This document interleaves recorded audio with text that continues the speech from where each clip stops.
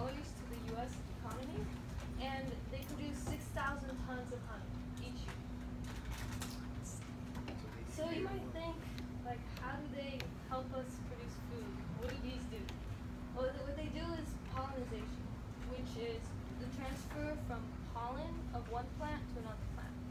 It fertilizes them and it helps them reproduce. So why can't humans do this? Why do we need well, humans can do this, but it would be extremely hard to impossible. We would have to go to every plant with a little paintbrush and paint the pollen to another plant. It'd take forever and we'd probably starve ourselves. We didn't have the bees to do it for us.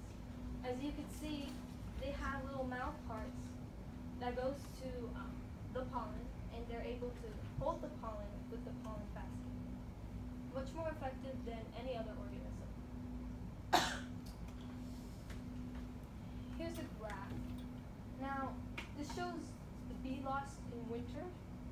It's normal for bees to lose around 15 to 20 percent in winter because the temperature is decreasing.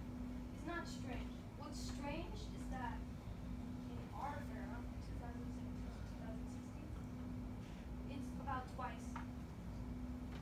The yellow is what's actually happening. The gray is what's supposed to happen or what's used to be known. The orange shows the annual loss. So you can see from the graph that most of the population dies off during winter. It's only a smaller percentage off from the other months.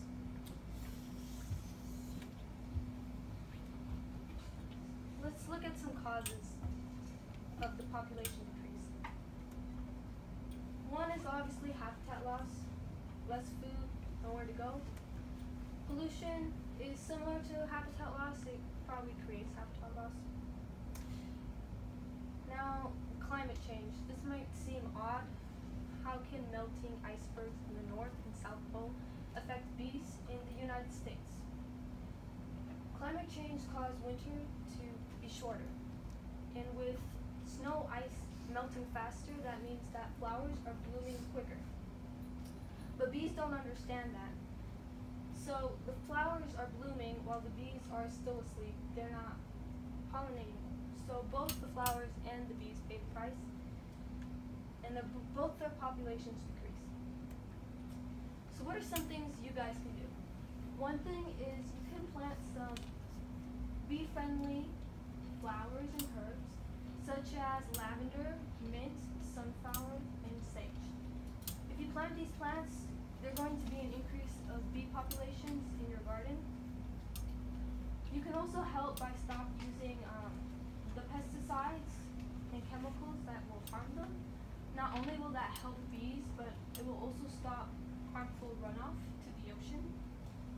And you should understand that bees aren't out to get you don't have to kill them if you just see one. They're probably not going to sting you unless you give them a reason to. And last and most important thing you can do is share the information, educate others.